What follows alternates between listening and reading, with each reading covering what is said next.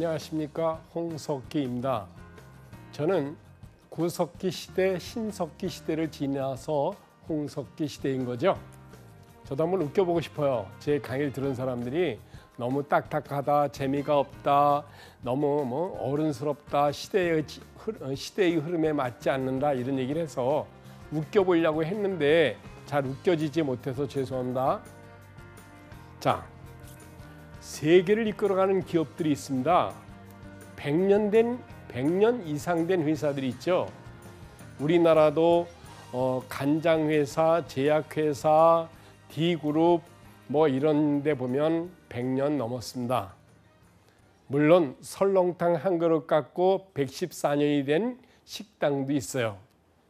2대, 3대, 4대째 가는 기업이 있고 개인 사업가가 있습니다. 또 세계적으로 보면 100년, 200년, 300년 된 회사가 있죠. 아, 뭐 다 아시겠습니다만은 시티뱅크도 200년이 넘었고 영국의 로이드 보험회사도 340년이 넘었습니다. 20년, 30년 가기도 어려운 지금과 같은 아주 그 불확실성한 시대에 200년, 300년 가는 회사들은 어떤 특징이 있을까? 그 회사에 근무하는 사람들은 어떤 특징이 있을까? 한번 생각해, 생각해 봅니다. 자, 100년, 200년 가는 회사들 중에 몇 군데를 조사해 봤더니 첫째, 그런 회사들은 뭐든지 고객에 집중하더라.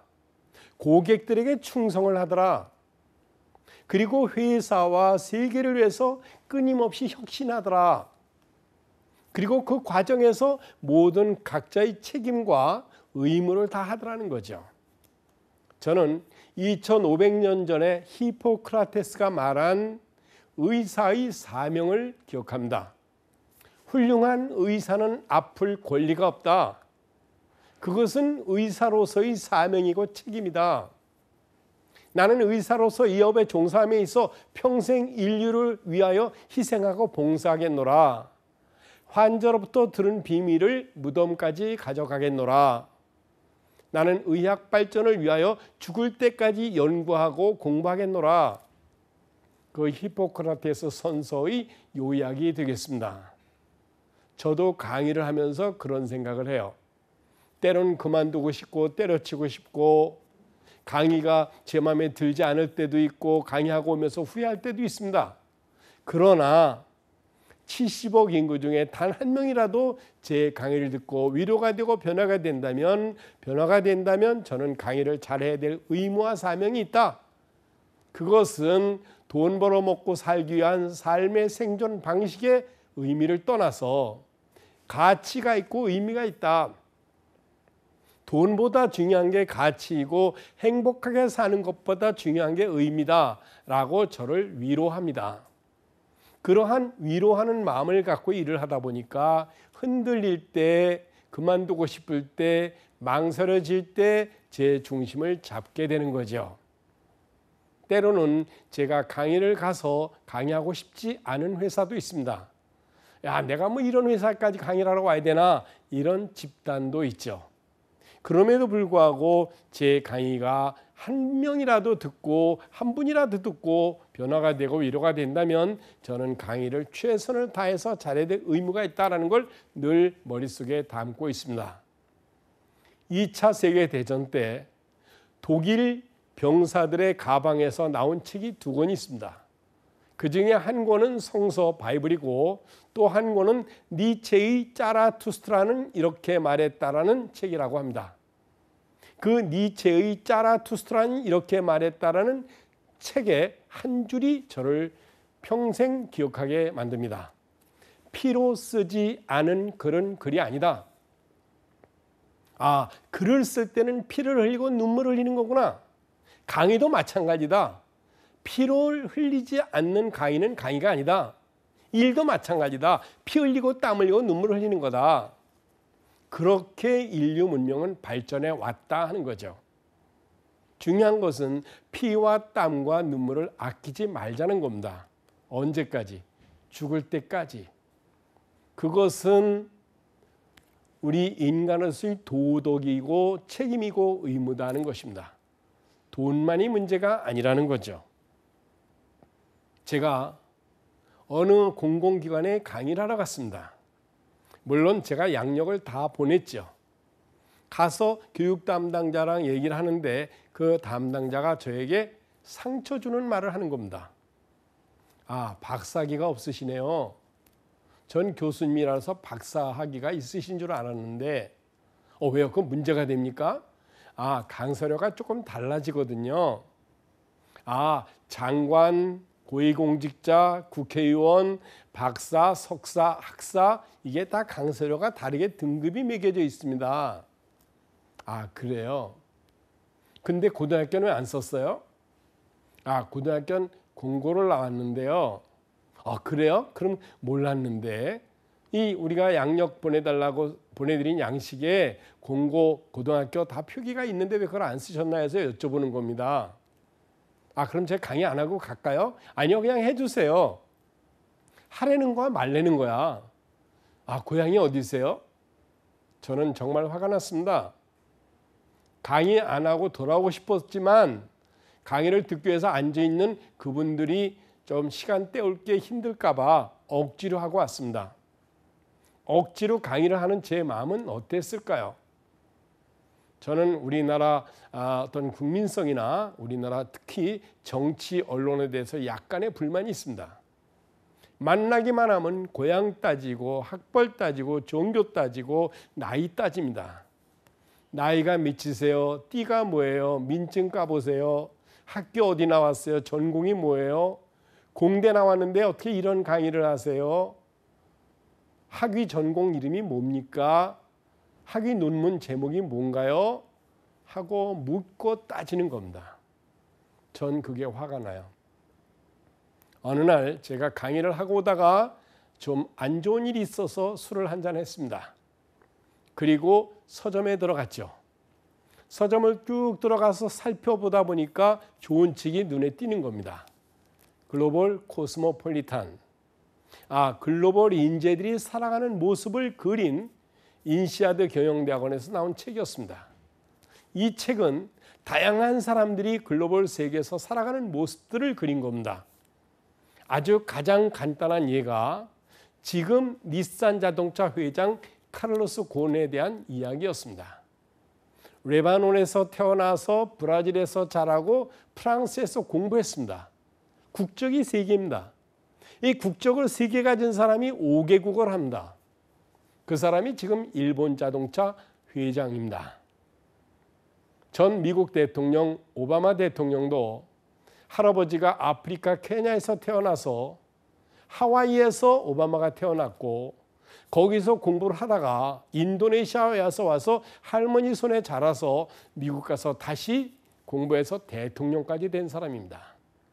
물론 미국도 인종차별이 있고 어느 나라나 종교차별도 있습니다. 그러나 우리나라 사람끼리 만날 때마다 나이 따지고 학벌 따지고 종교를 따지고 고향을 따지는 게 과연 맞느냐 하는 거죠.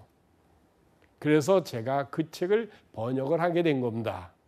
영어도 못하는 전문 번역가도 아닌 사람이 그 책을 번역한다고 덤벼갖고 한 1년이면 할 줄 알았는데 영어가 짧다 보니 2년 반이 넘게 걸렸습니다. 물론 오역도 있습니다. 중요한 건 거기에 나오는 이야기들을 읽고 제가 감동을 받고 이제 우리나라도 글로벌 경쟁력을 갖추려면 이렇게 가야 되지 않는가 이런 생각을 하게 된 거죠. 제 강의를 들으는, 들으시는 시청자 여러분들께서도 이 지금부터라도 사람을 만나면 고향 묻고 학벌 따지고 종교 따지고 전공 따지지 않았으면 좋겠다는 게 제 생각입니다. 제가 크리스찬은 아니지만 가끔 성경책을 봅니다. 마태복음 7장 1절.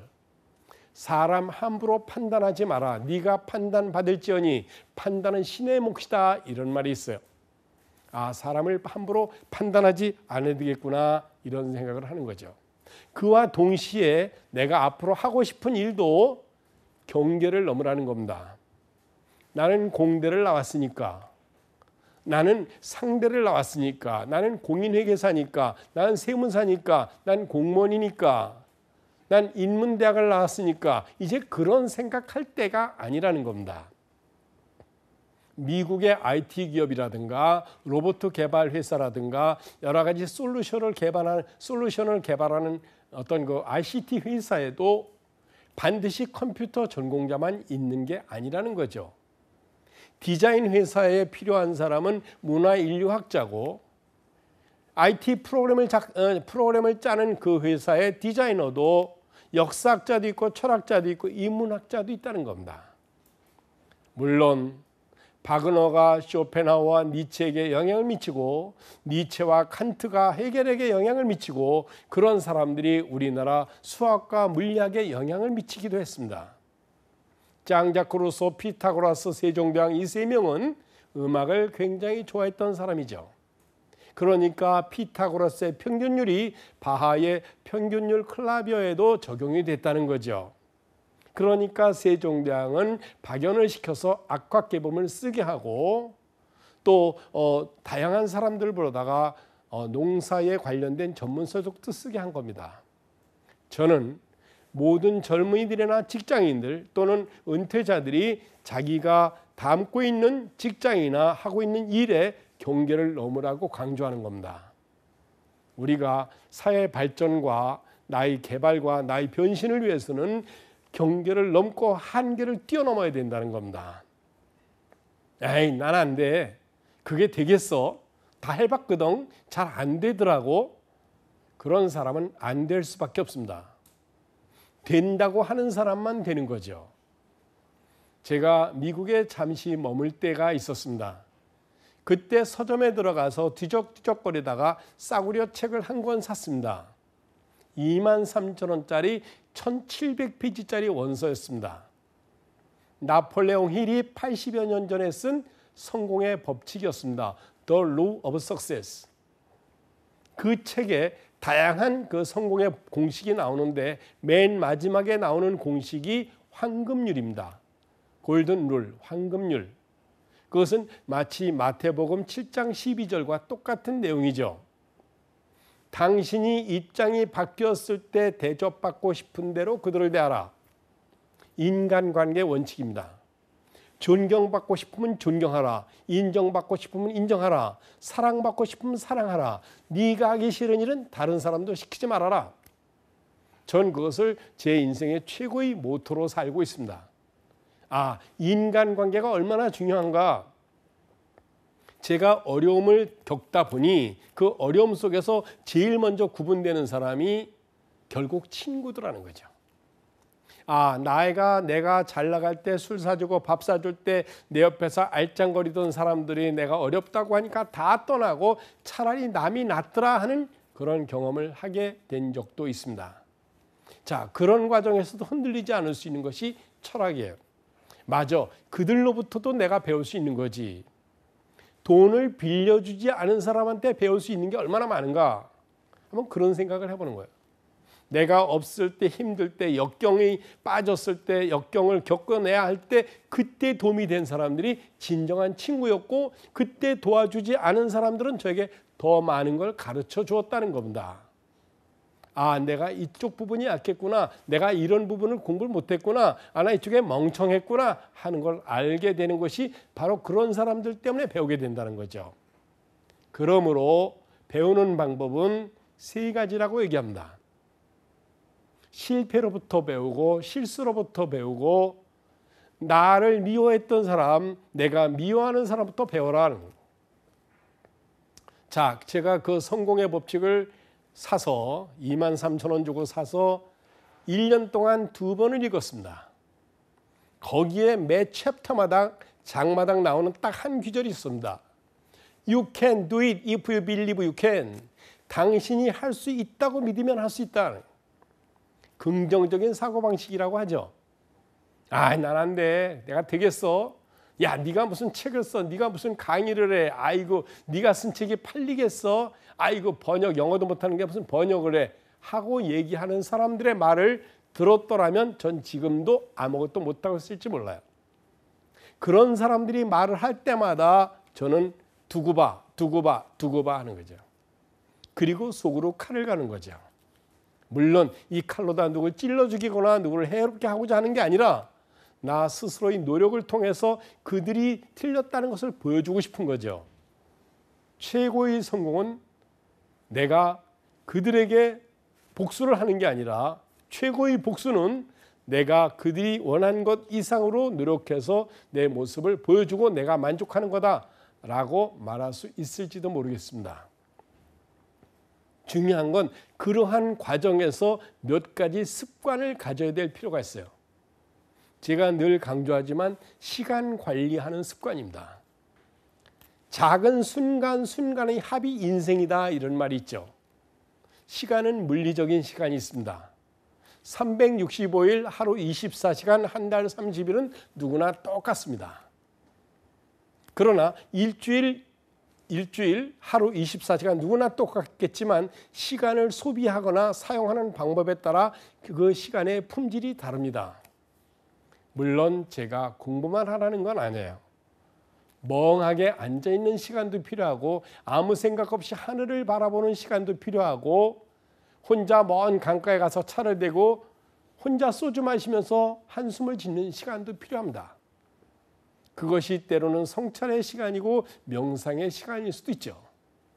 중요한 건 항상 그럴 수만 없다는 겁니다. 그래서 시간 관리를 하면서 자기의 꿈과 목표를 이뤄갈수록 노력 이뤄갈 수 있도록 노력하라는 거죠. 자, 제가 10년 동안 강의를 시작한 지 10년 동안 하루도 빼지 않고 하는 일이 세 가지입니다. 뭘까요?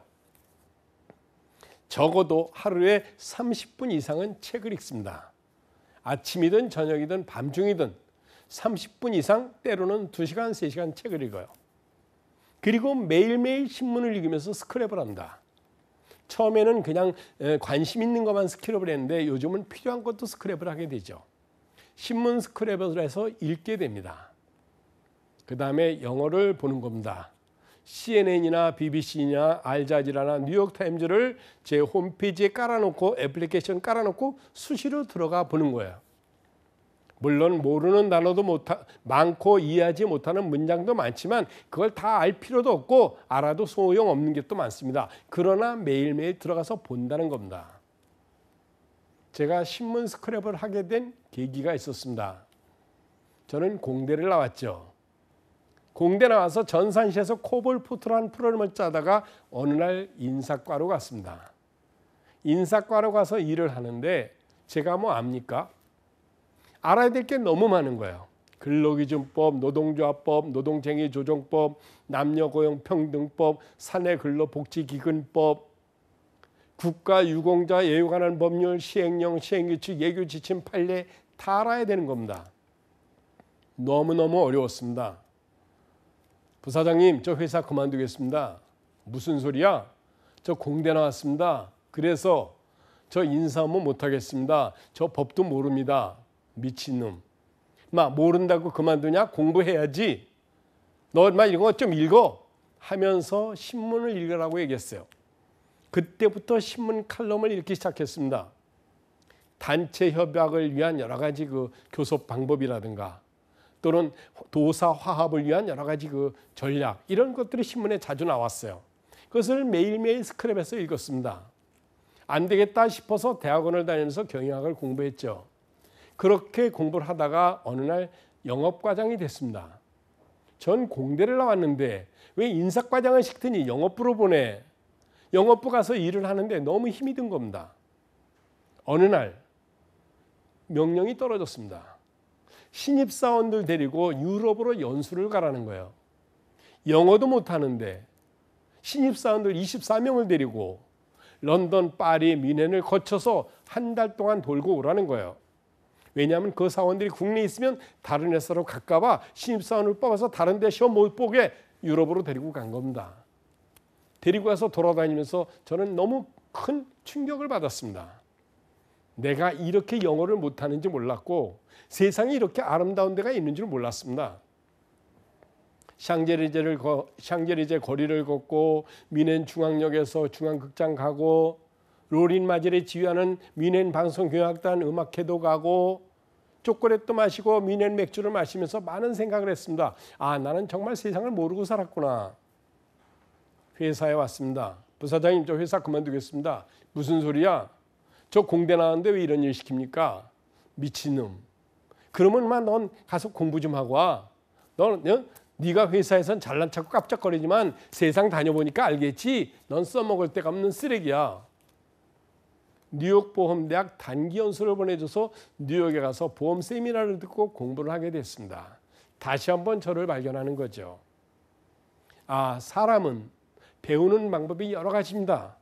공부만 해서 배우는 게 아니라 일을 통해서도 배우고 안 해본 일을 하면서 저도 몰랐던 저의 자질을 발견하는 겁니다. 아마 어쩌면 모르긴 몰라도 제가 회사를 다니면서 고객들을 만나고 고객들에게 상품 설명을 하고 프레젠테이션을 하고 발표를 하고 세미나에 참석을 했던 여러 가지 경험들이 지금 강의하는데 발휘되고 있는지도 모르겠습니다. 아마 제가 전산실에서 코벌포트란 프로그램만 짰더라면 지금 이런 강의를 하고 있지 못할 거예요. 물론 IT 전문 회사를 차려서 크게 성공했을지도 모르죠. 중요한 건 세옹지마라는 거예요. 자, 이럴 수도 있고 저럴 수도 있고 이렇게 성공할 수도 있고 이렇게 실패할 수도 있었을 거다. 그러나 23년 동안 직장 생활하면서 배운 것들, 읽은 책들 그런 것들이 지금 저에게 힘이 된다는 겁니다. 중요한 건 그렇게 배우고 익혔던 것들이 힘이 되는 게 아니라 그 과정에서 배운 생활 습관들이 있다는 거죠. 아, 평소에 책을 읽는 습관, 공부하는 습관, 생각하는 습관, 사람들을 만나면 명함을 항상 준비해서 먼저 인사하는 습관, 술자리 가서 많이 취하지 않고 적당히 일어날 줄 아는 습관, 이것도 배운다는 거죠. 자, 배운다는 마음을 갖고 일을 하시면서 자기 관리 원칙을 세워보기 바랍니다. 그 원칙이 쉽진 않겠죠. 살다 보면 슬럼프에 빠질 때가 있고 매너리즘에 빠질 때가 있어요. 아, 어떤 분이 그러더라고요. 입사해서 3개월이 지나면 실망이 시작한다. 실망하기 시작하면서 버틴다. 3년이 지나면 그만둘 수도 없고 그만두기도 아깝고 그런 애매모호한 시기가 된다. 그때쯤 대리가 된다. 그러다 보니 5년이 넘고 10년이 되게 된다. 그럼 또 불안해진다는 거예요. 그렇게 직장 생활 하지만 하면서도 아 내가 여기서 배울 게 뭐 뭐 뭐뭐다라고 생각하고 살다 보면 슬럼프를 극복해야 될 때가 있다는 거예요. 자 슬럼프를 극복하려면 여러 가지 방법 방법이 있겠지만 제가 세 가지만 말씀드립니다. 첫째 슬럼프를 극복하려면 첫째 기본으로 돌아가라. Back to the basic. 아 내가 입사할 때의 마음으로 되돌아간다. 무슨 일을 못하겠나? 아, 내가 입사할 때 신입사원 때 어떤 마음으로 일을 했나? 아, 난 배운다는 마음으로 뭐든지 하겠다. 이런 마음으로 내가 이, 이 회사에 들어왔다. 나에게 주어지는 일 무엇이든지 하겠다. 이런 마음으로 들어왔다. Back to the basic. 기본으로 가자. 내가 대학에 입학할 때 어떤 마음으로 입학했나? 한번 생각해 보자. 그런 마음을 항상 가져보자는 거죠. 제가 강의를 하면서 3년째 할 때, 5년째 할 때, 10년째 할때 슬럼프가 와요. 아이 강의해서 나머지 밥 먹고 살 수 있나? 정말 나는 강의가 많아질 수 있나? 이런 고민하죠. 그럴 때마다 Back to the basic. 아, 내가 강의를 처, 처음 시작할 때 어떤 마음이었나? 배운다는 마음으로 강단에 서자.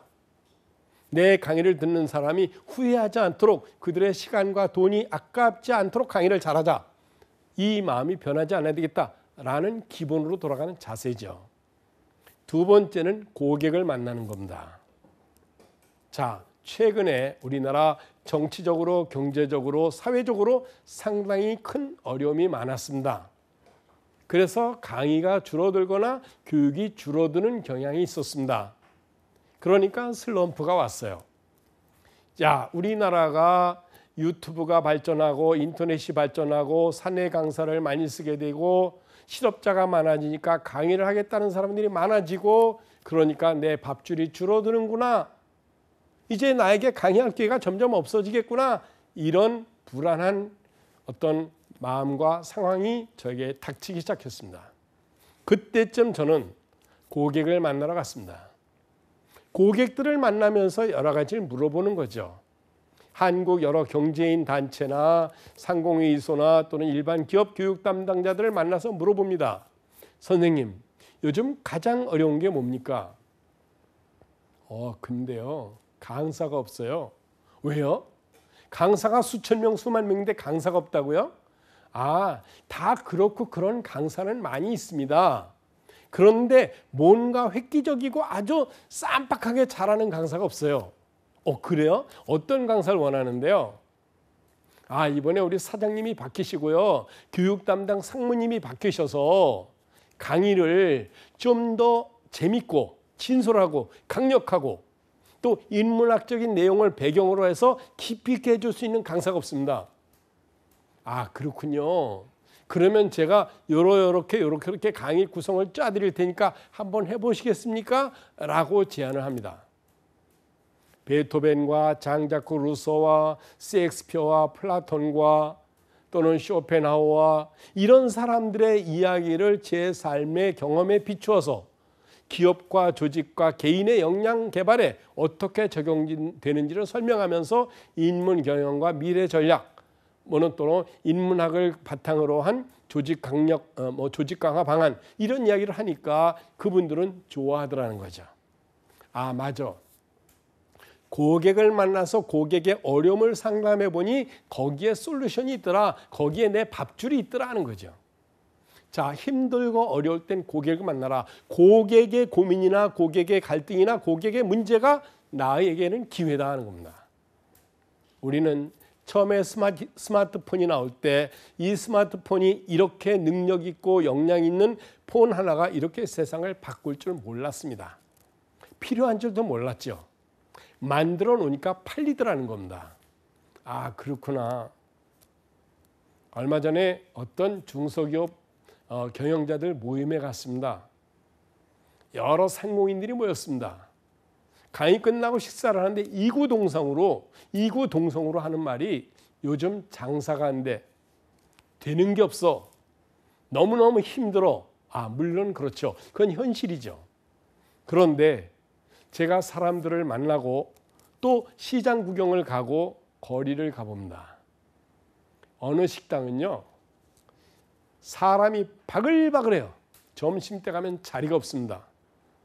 대문 밖에 표를 순서표를 받아서 10분, 20분을 기다립니다. 기다린 게 재밌는 겁니다.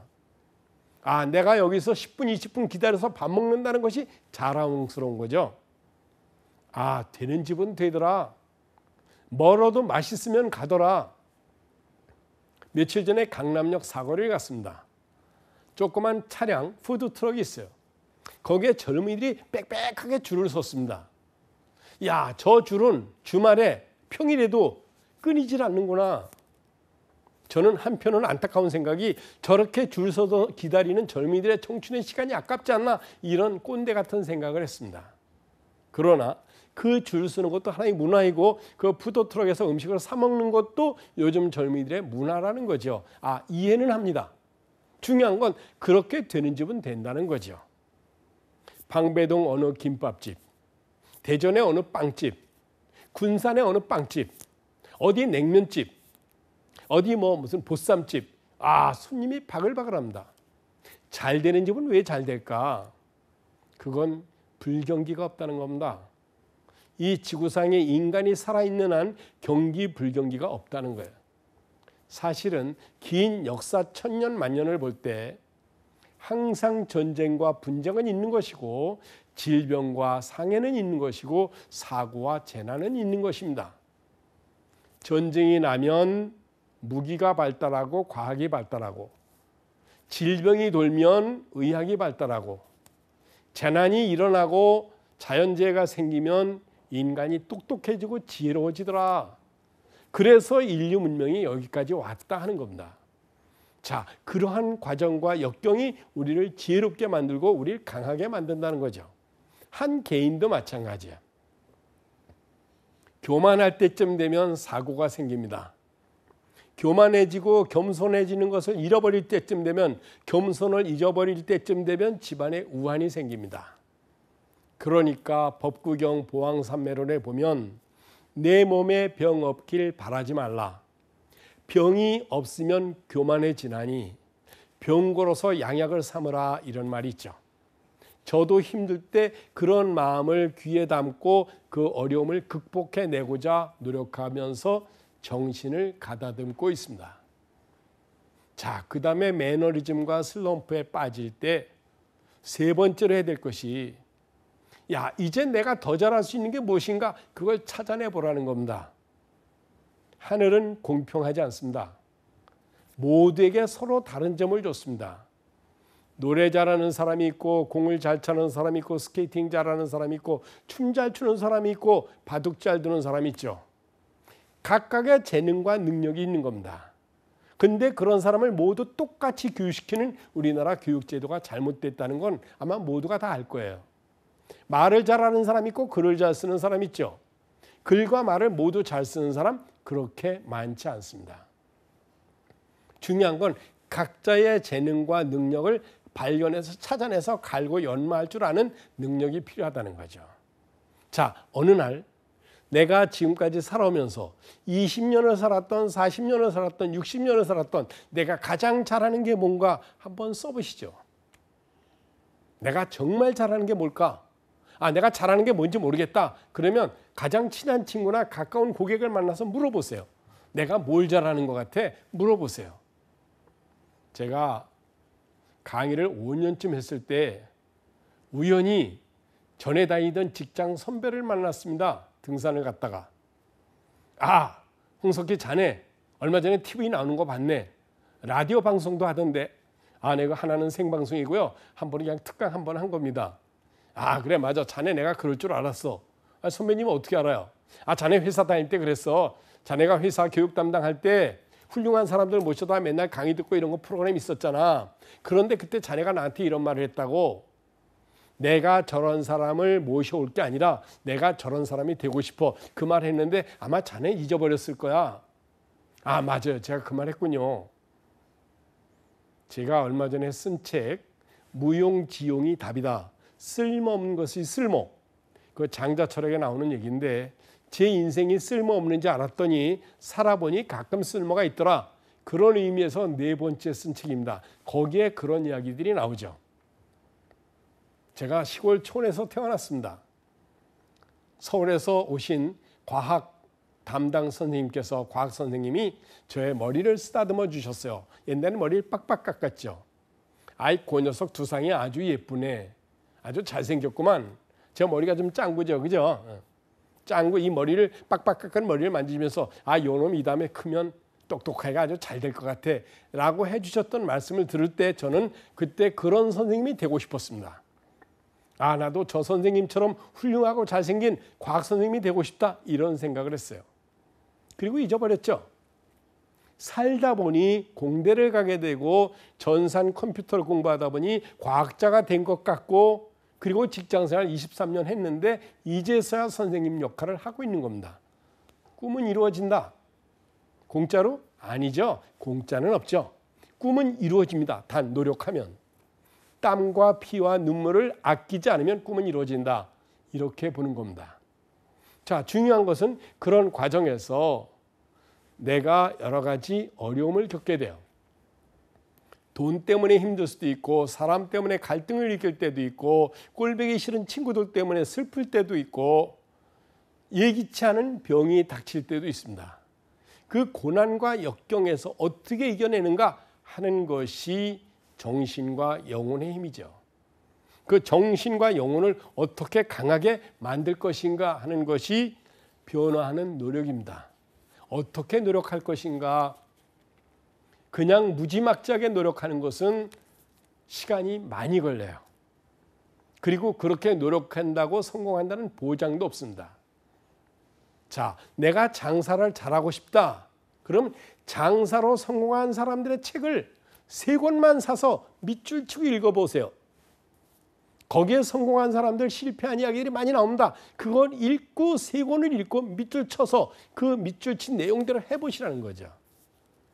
아이고 책 읽는다고 뭐가 나아지냐? 읽어봤어? 그죠? 성공한 사람들의 이야기를 읽어보라는 겁니다. 실패담, 성공담 읽어보고 요약해서 그대로 실천해보라는 거죠. 그러면 그 실패할 가능성을 줄어들고 시간과 돈을 아낄 수가 있습니다. 막연히 고민하는 것은 큰 의미가 없어요. 매일매일 똑같은 고민을 매일매일 똑같이 하는 건 의미가 없다는 거죠. 한 젊은이가 저에게 찾아왔습니다. 선생님, 저 취직이 안 돼 갖고 고민 많이 하고 있습니다. 어느 회사 가고 싶은데 대기업 가고 싶은데요. 대기업만 가고 싶어? 아니요, 중소기업이라도 좋은 데는 가고 싶습니다. 그럼 한번 넣어보지. 어디 넣어봐요? 대전, 대구, 부산, 광주 이런 데 한번 찾아가서 중소기업 한번 찾아다녀봐. 경총에도 가보고 상공에서도 가보면 아마 자네 같은 사람 뽑는 데 있을 거야. 아 그렇지 않아도 얼마 전에 대구인가 대전에서 어디서 저한테 면접 보라고 왔습니다. 그럼 가봤어? 아 멀어서 안 갔습니다. 멀어서 안 가다니 어디가 멀어? 대구 대전 멀잖아요. 이 사람아 뉴욕도 가고 런던도 가고 아부다비도 가고 케냐도 가고 저 남아프리카 공화국도 가고 멕시코도 가는데 대구 대전이 뭐가 멀어? 멀잖아요. 그게 뭐가 멀어? 400km도 안 되는데. 어 근데 면접 보러 갔다 떨어지면 어떡해요? 떨어지면 어떻게 붙으면 어때? 혹시 붙으면 어떡할 거야? 거기 갔는데 더 좋은 회사면 어떡할 거야? 아 글쎄요. 글쎄요 어디서 가봐. 가서 떨어지면 내가 왜 떨어졌는지 알게 되고 붙으면 그때 결정해도 되잖아. 혹시 거기 간 회사가 서울에 있는 웬만한 대기업보다 더 좋은 데가 있을지도 모르잖아. 해보지도 않고 힘들다고 하는 겁니다. 가보지도 않고 멀다고 하는 겁니다. 아, 지방 근무 싫은데요. 뭐가 지방이야? 대전이 대구가 무슨 지방이야? 부산도 지방 아닙니다, 이제. 보세요. 우리나라 외국인이 180만 명이 와서 삽니다. 영국 사람, 프랑스 사람, 독일 사람, 중동 사람, 중국 사람, 파키스탄 사람 아주 다양한 사람들이 와서 살아요. 요즘 글로벌 경제가 경계가 무너지고 있습니다. 글로벌 또는 로컬 의미가 없어요. 이젠 경계가 무너지고 있습니다. 기업도 무너지고 있죠. 최근에 나온 뭐 S그룹이나 D그룹이나 여러 가지 그룹들 보면 외국 자본 비율이 굉장히 높습니다. 우리나라 회사 아니라는 겁니다. 우리 착각하고 있습니다. 우리나라 대기업으로 착각하고 있다는 거죠. 그러므로 일단 패러다임을 바꿀 필요가 있다는 거죠. 그래 맞아. 내가 갈 회사는 많아. 일단 가보는 거야. 가서 면접 보고 떨어지면 왜 떨어졌는지 알게 되고 붙으면 그때 결정해도 돼. 그걸 못해. 돈이 아까워서 멀어서 아니라는 겁니다. 멀다, 돈이 든다, 시간이 아깝다. 그건 핑계일 뿐이에요. 그래서 무엇이든지 도전을 해보라는 겁니다. 아, 선생님, 쉽고 재미있는 책 한 권만 추천해 주세요. 한 권이 어디 있어? 두껍고 어려운 책 100권을 읽어야지. 뭐 간단하고 재밌는 책 없어요? 그런 책 읽지 마라. 그런 책이 무슨 도움이 된다고. 이왕 책을 읽으려면 200년, 300년 된 책을 읽으라고. 200년, 300년 된 책이 왜 지금까지 내려오겠어? 하는 거죠. 제가 쇼펜하우가 쓴 의지와 표상으로서의 세계, 의지와 표상으로서의 세계를 읽고 있습니다. 이 책은 쇼펜하우가 40년 동안 칸트 철학을 비판한 책입니다. 처음에 32살에 쓰기 시작해서 42살, 52살에 쓰지 말까 쓸까 하다가 70이 될 때까지 쓴 책입니다. 아주 지루하고 힘들어요. 거기에 라이프 니체 충분 근거율이 나옵니다. 충분 근거율. 우리가 생성하고 존재하고 인식이 돼서 행위를 한다는 데는 충분한 근거가 있다. 제가 여기에서 강의를 한다는 것은 그리고 영상을 통해서 여러분들을 만난다는 것은 충분한 근거가 있다. 어머님이 저를 낳으시고 내가 자라서 공부를 했고 일을 했고 잘난 척을 하고 하다 보니 책도 쓰고 번역도 하다 보니 여기까지 와서 여러분과 영상으로 만나지더라 그런 근거가 있더라 하는 거죠. 자 중요한 건 여러분의 인생도 마찬가지 근거가 있습니다. 좀 심하게 말씀드릴까요? 부자는 부자가 된 이유가 있어요. 물론 운도 있죠. 나는 왜 부잣집 아들로 안 태어났나? 나는 왜 대기업 그룹의 회장 아들로 태어나지 않았나? 나는 영국이나 뉴욕 부잣집 아들로 태어나지 못했나 하는 생각도 들고 한편 내가 아프리카 시리아나 예멘이나 콩고에서 태어나지 않은 게 얼마나 감사한가 하는 생각을 할 때도 있죠. 그러나 중요한 건 가난한 사람도 가난한 이유가 있고 부자도 부자인 이유가 있더라는 거예요. 눈물 짜고 피 흘리고 땀 흘리면서 죽도록 노력한 것 그것은 하늘이 돕는다는 거죠. 그냥 노력하라는 게 아니라 요령 있게 능력을 배우고 다른 사람들이 성공하고 실패한 것을 조사하면서 그들을 닮아가려고 노력할 필요가 있다는 거죠. 그래서 책을 읽는 겁니다. 그래서 저는 독서를 굉장히 중요하게 생각합니다. 우리나라가 영화 관객 2억 명이라고 합니다. 1년에 2억 명이 영화를 본다고 합니다. 그러면 책은 2억 권이 팔릴까요? 팔릴 리가 없죠. 우리나라가 비트코인 세계 1위입니다. 비트코인 거래량 세계 1위. 자살 1위. 그리고 성형수술 세계 1위입니다. 과연 그게 바람직하냐 하는 거죠. 물론 반도체 1등, 조선산업 1등, 쇼트랙 1등, 피겨 1등, 기능올림픽 때 19년 동안 세계 1등, 손톱깎이 세계 1등, 오토바이 헬멧 세계 1등, 1등인 거 많이 있습니다. 그럼에도 불구하고 우리가 또 부정적인 면에서 세계 1등이라는 게 가슴 아프게 하는 거죠. 자, 제가 도덕 선생님처럼 강의를 해서 죄송합니다. 중요한 것은 그 불확실한 미래에 도전할 수 있는 사람은 바로 여러분들이라는 거예요. 나이에 관계가 없다는 겁니다. 제 강의를 들으시는 분들이 반드시 취업 직업 방송이라고 해서 취업을 하고자 하는 사람만 듣지는 않을 거예요. 대학생도 듣고 대학생 자녀를 둔 부모님도 듣고 은퇴자도 듣고 지금 직장 생활 하는 분도 들으시겠죠. 또 그들의 사모님도 듣고 어머님도 들으시겠죠. 제 강의를 들으시는 분들이 가족들에게 또는 친지들에게 친구들에게 얘기해서 우리나라 독서 문화 부흥을 일으켰으면 좋겠습니다. 이 기회를 통해서 세계에서 가장 위대한 복지국가 스웨덴은 국민 독서율을 율이 95%라고 합니다. 우리나라 국민들도 책을 많이 읽었으면 좋겠습니다. 물론 먹자 방송도 중요하고 개그 방송도 중요하고 다 좋죠. 그러나 너무 한쪽으로 쏠림 현상이 나타나는 것 같아서 제가 드리는 말씀입니다. 중요한 건 그 과정에서 필요한 게 자기 구조 조정이라는 거죠.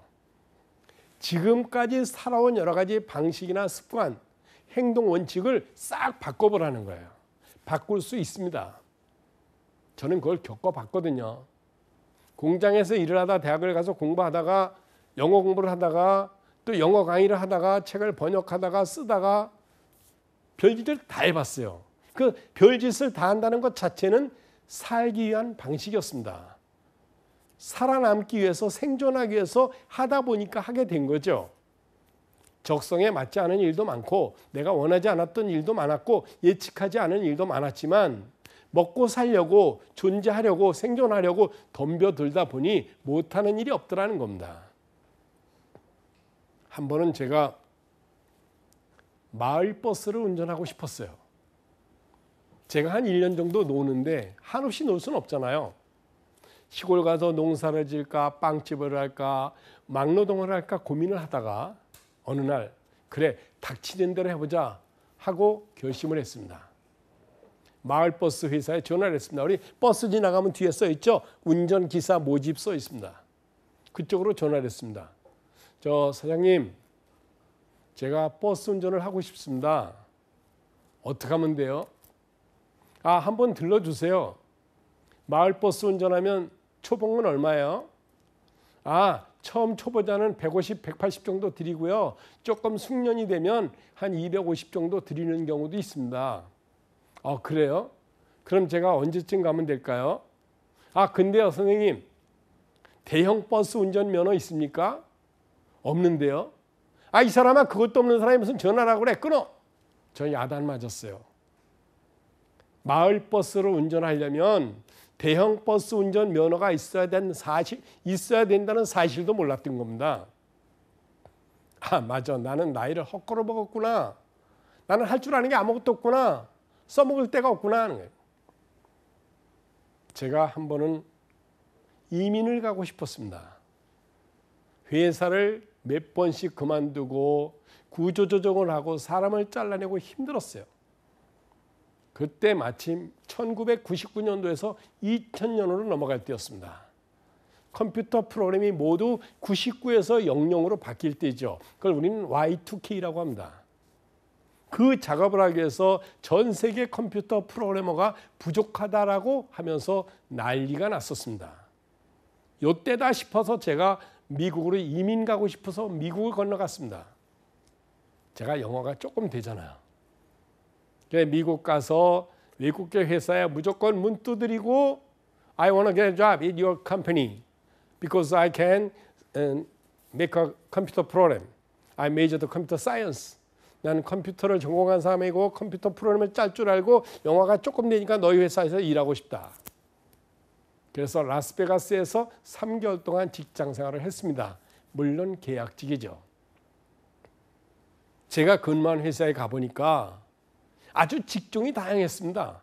필리핀에서 온 사람, 독일에서 온 사람, 프랑스에서 온 사람, 중국에서 온 사람, 다양한 국적 사람들이 계약직도 있고 임시직도 있고 시간제 근로자도 있고 정규직도 있고 파트타이머도 있고 아주 다양한 사람들이 있었어요. 그러나 그들은 나이도 묻지 않았고 국적도 묻지 않았고 무슨 직종이 뭐냐고 묻지도 않고 그냥 자유롭게 일하고 있었습니다. 전 그런 문화가 부러웠습니다. 그들과 짧은 기간이었지만 일을 하면서 많은 걸 배웠어요. 우리가 서로 다른 문화를 배우는 데는 그렇게 많은 시간이 필요하지 않습니다. 한 달만 유럽 여행을 갔다 와도 알고 두 달 동안만 남미, 브라질, 멕시코를 갔다 와도 안다고 하죠. 아, 세상 사람들이 이렇게 살아가는구나. 모두가 다라, 다르게 살아가는 것 같은데 어떻게 사는 모습이 이렇게 똑같을 수 있을까라고 느낄 때가 있죠. 거기서 제가 느꼈습니다. 아, 세상 사람들과 어울려 살아가는 방법은 첫째가 교양이구나.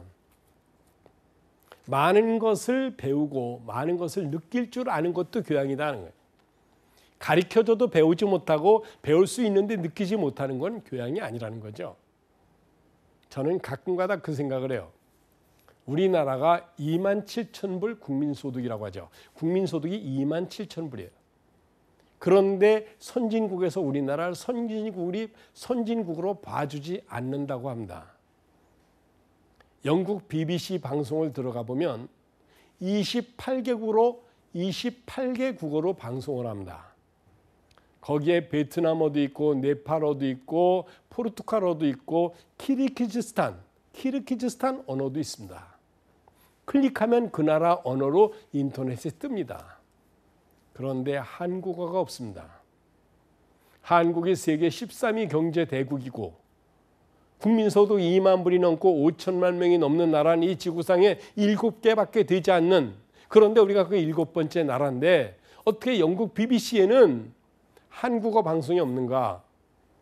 마침 곧 영국 BBC가 대북 북한에 대한 라디오 방송을 시작한다고 하니 뭐 좀 더 다른 영향이 있겠습니다만은 중요한 건 그런 선진국들이 한국어 방송을 하지 않는다는 것은 저에게 자존심을 상하게 하는 거였습니다. 왜 그럴까?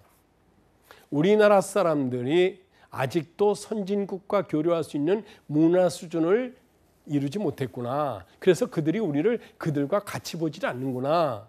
아시아를 우습게 보는구나. 그러나 중국과 일본은 우습게 보지 않는다는 겁니다. 전 가끔 그 생각이 들어요. 우리나라가 세계에서 가장 우수한 두뇌를 가졌다고 합니다. 국어, 영어, 수학 OECD 국가 중에 1등입니다. 국영수가 세계 1등입니다. 그렇게 똑똑한 국민성과 부지런한 국민들이 왜 인정을 받지 못할까 하는 거죠. 전 가끔 그런 생각이 듭니다. 독일 사람들의 좋은 점 배우고 일본 사람들의 좋은 점 배우고 중국 사람들의 좋은 점을 배우고 미국 사람들의 좋은 점을 다 배우면 우리나라는 세계 최고의 국민이 될 것이다. 이런 생각이 들어요. 한번 보실까요? BMW, 아우디, 벤츠 독일입니다. 헤겔, 니체, 칸트 독일이죠. 바하, 브람스, 베토벤 독일입니다. 독일 사람들은 어떻게 그렇게 강력한 기술과 강력한 문화와 강력한 최고의 음악과 예술을 갖고 있는가? 가만히 생각해 보면 몇 가지 공통점이 있다는 겁니다. 아, 그들은 생각하는 민족이다. 산책을 많이 한다고 합니다. 생각을 하면서 연구를 하고 모질게 집중하다 보니까 세계 최고의 제품이 나오고 세계 최고의 철학이 나오고 세계 최고의 음악이 나온다는 거죠. 저는 지금 우리나라 국민들에게 교양 강의를 하는 게 아니죠. 직장인으로서 전문가로서 사업가로서 좀 더 자신의 역량을 키우려면 생각하는 법을 배워야 되고 생각하는 법을 가르쳐야 됩니다. 그러기 위해서 필요한 것이 독서라는 거죠. 그러기 위해서 필요한 것이 예술이라는 겁니다. 아름다운 음악을 듣고 아름다운 그림을 보고 생각하면서 자연의 변화와 우주의 변화를 이해하면서 내가 지금 살아있다는 것에 대해서 감사하면서 인간으로서 해야 될 의무가 무엇인가 한번 다시 생각해 보자는 겁니다. 그러면서 내가 남은 인생 어떻게 살아갈 것인가를 생각해 보면 할 일이 많다는 거죠. 글도 써야 되고 시도 지어야 되고 음악도 들어야 되고 다른 사람을 도와주기도 해야 되겠고 그러려면 내가 능력이 있어야 되겠고 실력도 있어야 되겠고 돈도 있어야 되겠죠. 그러기 위해서 우리가 어떻게 노력할 것인가 서점에 가면 어떻게 성공하고 어떻게 발전하고 어떻게 자기 개발을 할 수 있는지에 대한 책들은 무수히 많습니다. 중요한 건 그 책들을 읽느냐 안 읽느냐인 거죠. 중요한 건 더 중요한 건 읽고 읽은 내용대로 실천하느냐는 겁니다. 실천하지 않으면 결과는 없습니다. 가장 바보 같은 사람은 똑같은 행동을 반복하면서 결과가 달라지길 바라는 사람이다. 라고 아인슈타인이 얘기했습니다. 아인슈타인, 에디슨, 세계 모든 철학자, 과학자들의 공통점은 끊임없이 생각했고 끊임없이 변화했다는 겁니다. 많은 사람들이 뭔가 변화를 하려고 노력을 합니다. 강의를 듣고 강의 들을 만큼 실천한다고 결심을 합니다. 그러나 행동하지 않고 실천하지 않으면 결과가 없죠. 습관도 마찬가지입니다. 바꾸고 싶은 습관이 무엇인가 한번 생각해 보세요. 담배를 끊어야 되겠다, 책을 읽어야 되겠다, 외국어를 공부하고 싶다, 운동을 해야 되겠다. 가장 많이 나오는 얘기예요. 그런데 사람들은 강의 들을 때만 그럴듯하고 책을 읽을 때만 그렇다고 생각하고 행동하지 않습니다. 아인슈타인이 얘기했죠. 똑같은 행동을 반복하면서 결과가 달라지길 바라는 사람은 미친 사람이다 이런 얘기를 했어요. 제가 강의를 가서 자, 여러분이 바꾸고 싶은 행동, 하고 싶은 일을 써보세요. 그러면 제일 많이 나오는 게 독서, 영어 공부, 외국어 공부, 운동 이런 겁니다. 그런데 그것을 실천하지 못해요. 왜? 구체적으로 쓰지 않고 추상적으로 썼기 때문이죠. 책을 읽고 싶다, 영어 공부하고 싶다, 운동을 해야 되겠다가 아니라 난 한 달에 두 권 이상 교양서적을 읽겠다. 나는 일주일에 세 번 이상 30분 이상 운동을 하겠다. 나는 외국어를 공부하기 위하여 중국어나 일본어나 영어나 3년 안에 반드시 두 개 언어를 정복하겠다. 이런 계획된 어떤 구체적인 목표를 세워서 오늘부터 당장 시작하는 겁니다. 그래야만 내일부터 뭔가 달라지는 습관이 나오죠. 마음만 갖고 변하는 건 없고 결심만 한다고 되는 건 없습니다. 중요한 건 오늘부터 시작하는 겁니다. 지금 당장. 선생님은 그렇게 했어요? 라고 물을지도 몰라요. 저도 제가 그렇게 목표를 세워놓고 하지 못한 게 많습니다. 저도 후회되는 게 많고 반성하는 게 많아요. 제가 신이나 하느님이나 부처님은 아니기 때문에 저도 부족한 게 많다는 거 인정하고 그렇기 때문에 제가 위로받고 사는 겁니다. 저는 강의를 하든 글을 쓰든 항상 딴 사람에게 묻고 배웁니다. 엊그저께 강의하는 법을 저한테 배운 사람이 저에게 조언을 해줬어요. 아, 내가 내일 어느 방송에 강의를 하러 갑니다. 어떻게 하면 될까요? 아유, 제가 뭘 압니까? 제가 강사님한테 배운 사람인데, 아, 그래도 생각나는 대로 좀 해주십시오. 그분이 네 가지를 얘기해 줬어요. 방송에서 강의한다고 우쭐대지 마세요. 오버하는 모습 좀 부끄럽게 느껴질 겁니다. 둘째, 방송 강의라고 해서 학술 발표하는 것처럼 아는 척하지 마십시오. 그냥 하던 대로 자연스럽게 하십시오. 웃길지도 모릅니다. 또 남들한테 보여진다고 특별히 잘난 제스처 쓰지 마시고 오버하는 행동 보여주지 마세요. 그것이 싸게 보일 수도 있습니다. 그냥 하던 대로 하세요. 제가 지금 강의를 하면서 혹시 지나칠까, 혹시 부족할까, 혹시 영어를 너무 많이 쓴 게 아닌가 반성도 하고 후회가 됩니다. 그러나 다음 강의할 기회가 주어진다면 제가 이번 강의를 다시 한번 보면서 또 고칠 걸 개선하겠습니다. 중요한 건 그런 피드백을 가족들이나 친구들이 해줄 수 있다는 거죠. 그걸 제가 받고 제가 그렇게 고쳐 나갈 노력을 하겠다는 겁니다. 중요한 건 매일매일 작은 일에 최선을 다하는 겁니다. 신은 작은 데 있다. God, God is in the detail. 아, 작은 일에 최선을 다하라. 복사를 하던 술 심부름 하던 담배 심부름을 하던 청소를 하던 작은 일에 최선을 다하라. 그 작은 일에 최선을 다하는 것이 습관이 되도록 하라 하는 거죠. 자, 장시간 동안 딱딱하고 지루한 제 강의를 들어주셔서 고맙습니다. 감사합니다.